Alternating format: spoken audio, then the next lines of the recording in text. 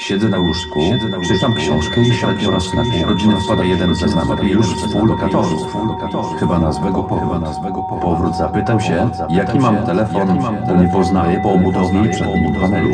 Kątem ucha usłyszałem gdzieś, że powrót zajmuje się telefonami.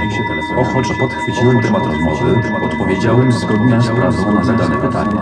Jegomość zamarł na chwilę i że nie zna takiej marki.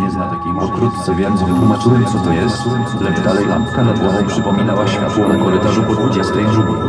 Na moje, że telefon spokojnie za tę cenę oznajmił, że czeka na nowy smartfon od syny i pozamiatałem konkurencję.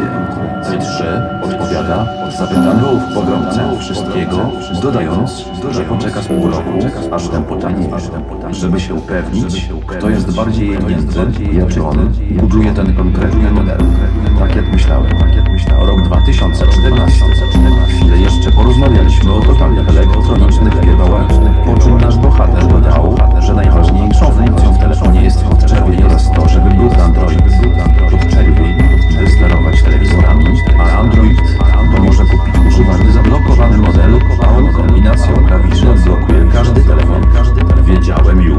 po co jego misja po korytarzu, czemu wraca zmęczony i rusza.